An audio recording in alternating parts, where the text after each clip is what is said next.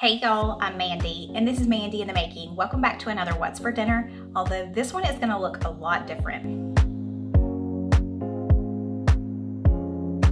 I've been having some back issues for about a month now where I'll have two to three really bad days and then a day or two where I'm able to do things and then I'm back down. So because of that, I really have not been cooking much and Stephen has stepped in to cook some of the meals for us and I decided on the days that I was able to just pick up my camera and film him doing so, I would do that. So we've got a couple of meals that he is preparing for us.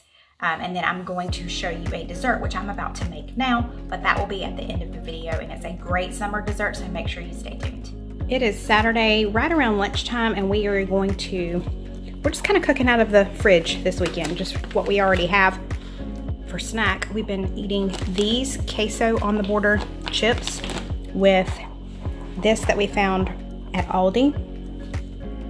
It's really good. You can see we've almost finished that. pour some more in there. Stephen is chopping up some of these chicken sausages. Again, another Aldi find. It's these right here. They are limited edition or for limited time, I guess, during the summer. We've never tried them, so we will give you our opinion of those. And we're gonna do, we're gonna cook them up and then we're gonna kind of scramble them with some eggs as well. I've got our eggs here ready to go. This is just a quick and easy lunch. And then I am thawing out some chicken for tonight for dinner, and we've got some more fun recipes to share with you then.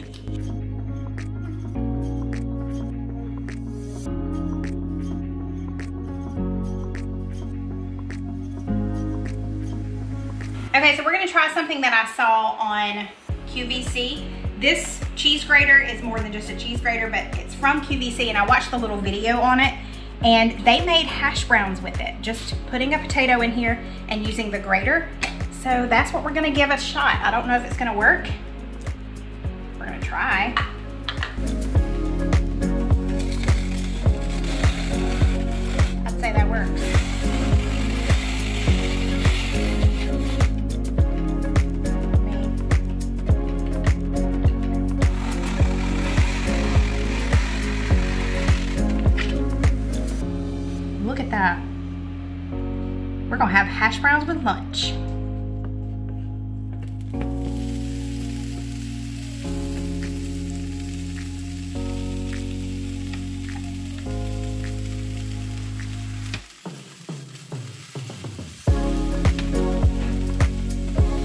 Drying these off just to get all that extra moisture off of them.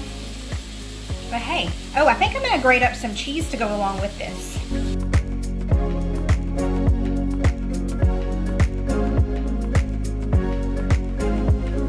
Okay, we're gonna have some Colby Jack cheese along with our hash browns.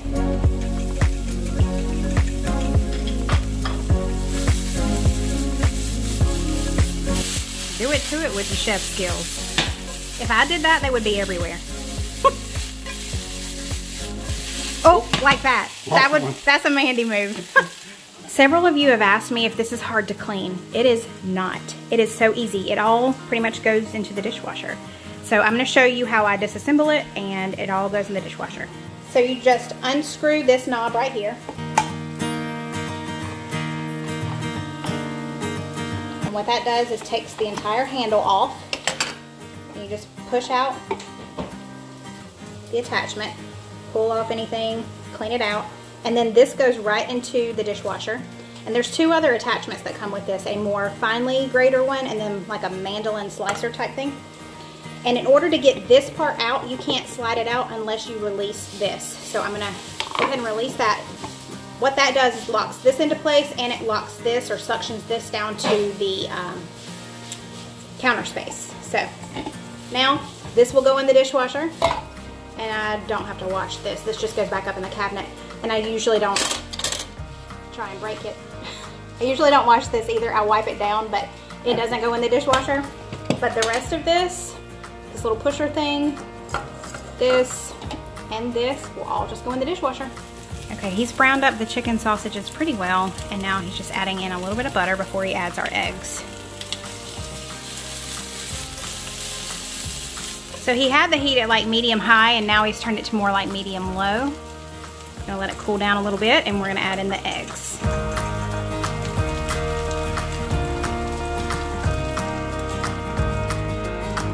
Man, yeah. I'm excited about this, baby. I love it when we just come up with creations like this. And a lot of times I don't film it just because we don't know how it's gonna turn out. So y'all are gonna be guinea pigs with us today. But I think this one's gonna be a good one. So now he's just gonna put a, um, a lid on this just so that everything, even on the top, will get nice and cooked through. We're just gonna let it hang out on medium low to low. We're about to get started on our hash browns. Super hot pan. Very hot pan. A couple of tablespoons of butter. Got our hash browns. Got this. Ooh, nature seasoning would be good on this too, baby. Oh yeah. Oh, look, out in the front. Here, we go ahead and take the nature seasoning and just kind of pour some in there. Yes. Mix it up. mix it up really good. So nature season, if you're new here, I use this a lot in our house. We don't get um, Mrs. Dash. I grew up with my mom always using nature seasoning, or nature season, I think is what it's called. Yeah. So good. It's very similar to Mrs. Dash though.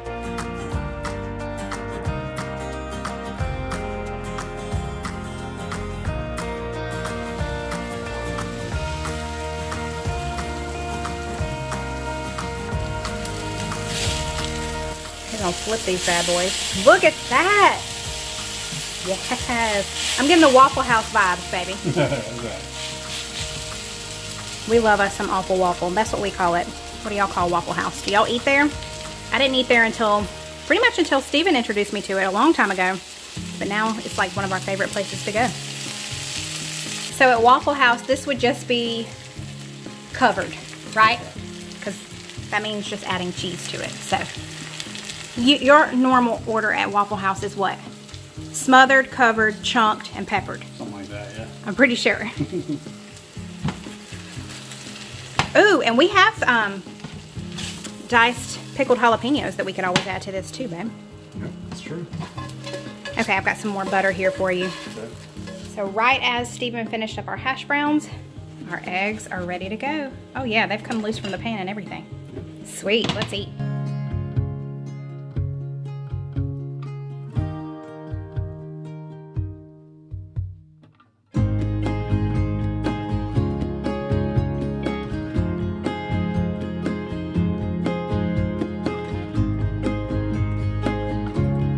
That new salsa.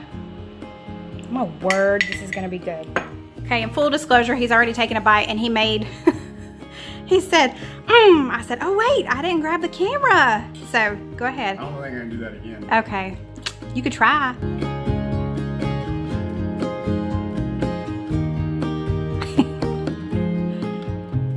This sausage is really good. I love I love that there's so much in the sausage. Like I didn't have to add anything to the eggs, like onions or anything like that. Yeah. There's so much there's so many other things in this sausage. Yeah, Tons of flavor in this. And the, the egg is cooked perfectly. It's it's beautiful. yeah, you gotta try our Waffle House Oh. uh, hash browns over there. Get into these. I'm so excited that we know how to make hash browns now. Like that grater just makes it so much easier. All right. Can't be eating this too often. No, can't eat that too often. It's definitely a treat. Well, this is kind of our lunch on a Saturday afternoon, but this would be a great dinner option as well. So we're just gonna include this in a what's for dinner. It's just a little bit different style. It's a couple of hours later and we are gonna go ahead and start marinating our chicken. Um, I had three pieces of chicken that were really thick, so Stephen cut them in half.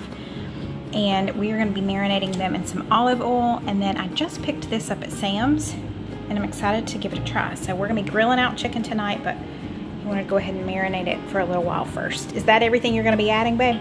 So he decided he would add a little bit of salt and pepper too.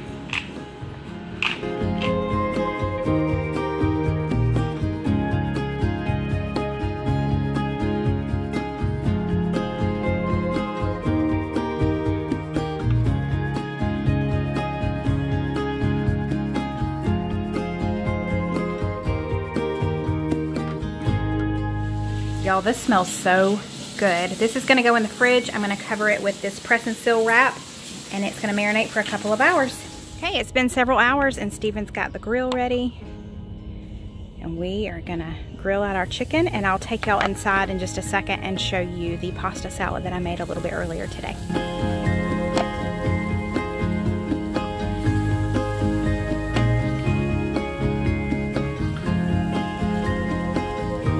Okay, tonight for sides, we're gonna have this pasta salad. I had some rotini on hand, and then I had several veggies that I needed to use up. So I had an English cucumber, um, some cherry tomatoes, and a yellow bell pepper. And then of course some feta cheese, and I sprinkled it with a good bit of nature seasoning.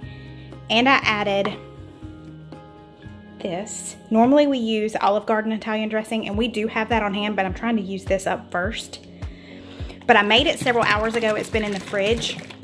So now I need to add some more of this because this soaks into it really well. And then we also have some cantaloupe left that we need to eat up, so that will be a side as well.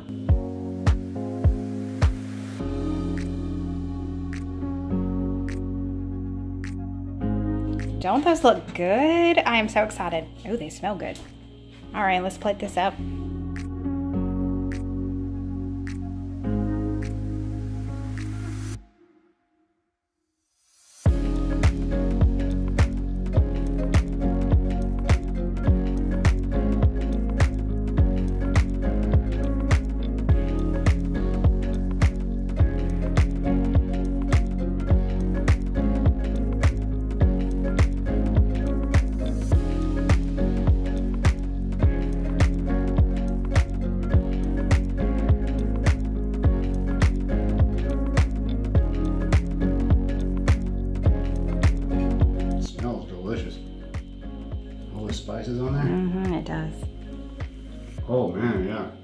Like that? I got a good kick of spice in there. That was really good. Good. Yeah. So you like that Lots spice blend? I do. Okay. I think it's delicious. Cole, have you tried it yet? It's amazing. I was like, am I not supposed to be filming you? What's going on? So say that again because I started to. It's amazing. It's amazing. Okay. I was like, oh, I did something bad. Okay, so what do you think about the pasta salad? Have y'all tried that yet? This is one of my favorites. Oh yeah, it's so easy. We do this a lot during the summer. And it's a little bit different each time I make it. So this is definitely spicy. It's not Okay. overpowering. Okay, Well, not for me. I don't think it is anyway. Cole says no. nice Okay. Because you've got the. Yeah, to kind of calm everything down. Yeah, the coolness of the, the cantaloupe and the salad. Yeah, Definitely nice mixture of uh, sides there. sweet. But it's not too spicy, Cole? Because Cole is more sensitive to spice. Um, so it's, it's good. All right, I'm gonna get started to eating. Gracie. Okay, if you hear Steven talking in the background, he's at work. So he's on the phone right now. But I am going to make our dessert to finish out this week's What's for dinner. And the dessert that I'm making is a brand new one to me. I'm really excited about it. There's two parts to it, but you don't have to do two parts, and I'll explain that in a minute. But it's called a no-bake golden Oreo lemon dessert.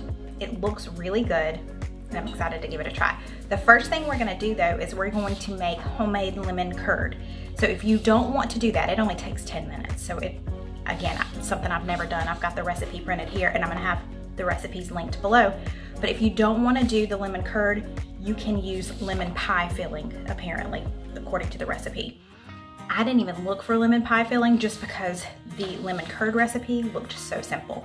So we're gonna do that first and then we will do the rest of the dessert and then it has to go in the fridge for like eight hours.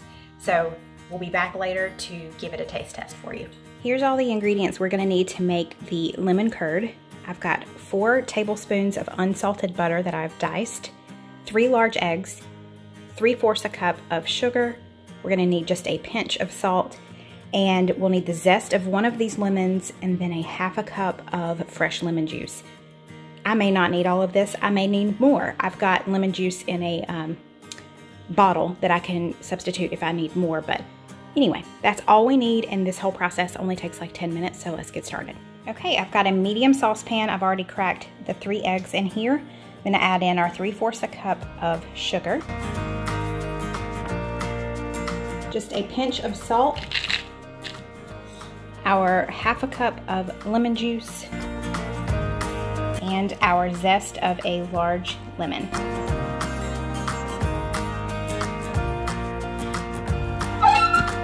Don't you love an old kitchen? it's always squeaking. We're gonna whisk all of this together until it's smooth and then it's gonna go over low heat.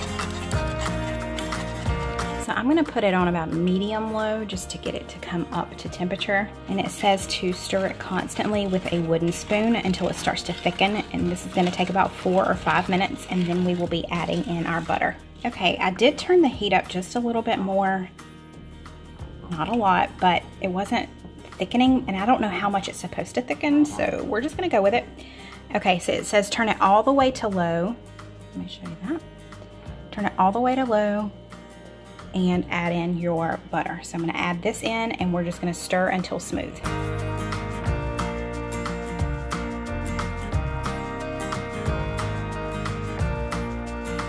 Y'all, this is this could be a total fail. I'm not sure. It did not thicken as much as I was kind of hoping it would, but I'm hoping that as it cools down, it will thicken. I need one cup of it for the recipe and then the rest of it I'm just gonna put in the fridge and I will Google a recipe that I could use with a cup of lemon curd. Not really sure what to do with it, but I am going to stick this in the fridge for a little while. Some of you who have made this may be screaming at me right now that I did something wrong. It, if you know what I did wrong, or if I even did anything wrong, let me know below. But I'm gonna put this in the fridge and see if it'll thicken up even more before we move on to make the recipe. This could be a total fail. We shall see. Okay, so now we're going to start making this. Everything that I need is sitting right here. They do make the golden lemon Oreos, but I thought with as much lemon that's going in this, I thought that might be overkill. So I just got the regular golden Oreos, and I think the recipe does just call for the regular, but if you really love lemon and you wanna up it, get the lemon ones. Um, I got the family size only because my store didn't have the regular size. So we're gonna need these, we're gonna crush these up. This is gonna be like our crust. You need a 3.4 ounce thing of instant pudding. Um, I did. I went with the lemon. She said you could go with coconut, cheesecake, vanilla, or lemon. So I just went ahead and went with lemon. I've got our lemon curd here, about a cup of milk. It calls for non-fat milk. I only had 2%, so that's what we're going with. Three tablespoons of melted butter and about 12 ounces of whipped cream. This recipe makes a nine by nine pan I've got an 8 by 8 I'm pretty sure. So it's not gonna quite be right, but that's okay. We're just gonna go with it. This whole thing might be a mess. I don't know because I don't know about this lemon curd. But what I'm gonna do is take some of these golden Oreos and put them in a bag and use my rolling pin and crush them up. You want them coarsely crushed, you don't want to finely crush them.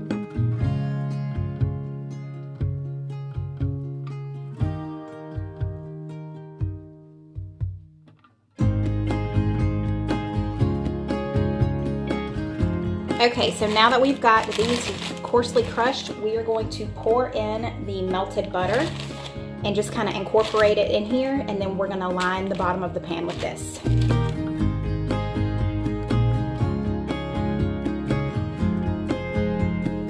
So I've got my spatula, I'm just going to kind of press this all along the bottom. It does say in the recipe that this is not going to be a crust in the traditional sense. It's definitely loose and not compacted. So we're just gonna go with that. Looks like I kind of guesstimated the right amount. Yay. Now we're gonna do the pudding mix and the milk. So you do the entire thing of the pudding mix and only one cup of milk. And we're gonna whisk that together and just let it sit here in this bowl for just a couple of minutes. Okay, now that this has been sitting, we're gonna add in about a cup to a cup and a half of the whipped cream and just mix that all together and then we are going to spread this over our bottom crust.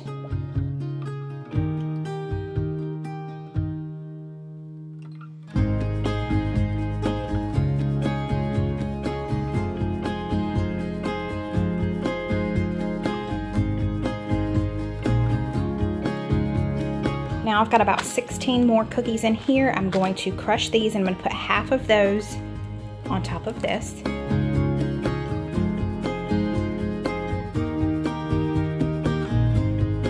Okay, so we've got half of it there, and now I'm going to get a cup of this whipped cream and mix it with the lemon curd in here, and then it will go on top of this.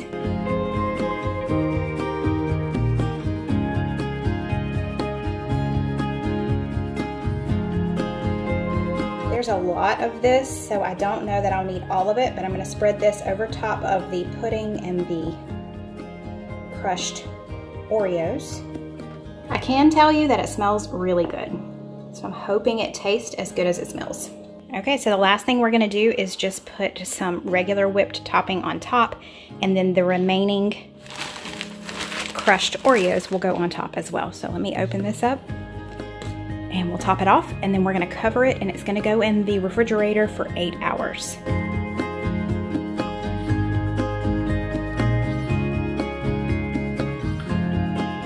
Doesn't look so good? I don't know why it has to chill for eight hours, I guess to thicken up that whipped cream that was mixed with the lemon curd, but it's gonna go in the fridge and we will try it tonight. Okay, it's been pretty much all day. It is time to give it a try. I'm really excited.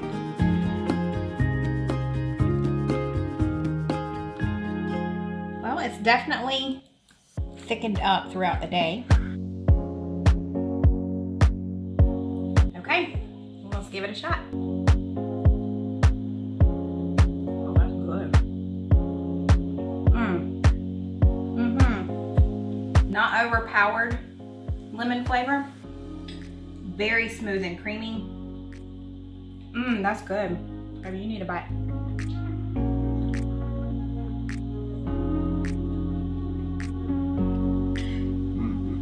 You like that? It is good. It's very light. Mm-hmm. It's not very rich. Mm-mm. I think that whipped cream that's in there just really kind of lightens all the flavors. Yeah. It's really tasty. I love the cookies too. You like the cookies too? Yeah. Mm-hmm. So you give this one a thumbs up or two thumbs up? Yeah. I might read the rest of it. Do you want to, you do the closing.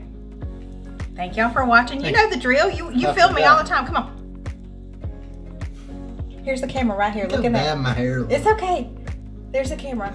Do it. Look like I just Rolled out of crawled under a, crawled out from under a bridge or something. We both look like trolls. Look, it's been a long day. We look a little rough. got my got my COVID hair going on. Y'all do need to go get your hair cut. All right, close us out. and that's it for today. Hold on man. No, no, no, you gotta do it. and that's it for today. and that's it for today. If you like what you see here, make sure you leave it a big thumbs up. and hit that red subscribe button before you leave. It's really important that you do that. it's really important that you hit that red subscribe button. Thanks, Uh, y'all. We'll see you next time. Bye.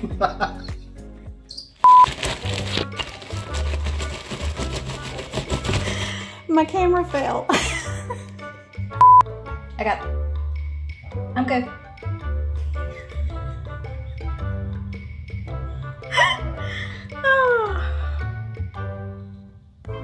I got lemon in my teeth shut up.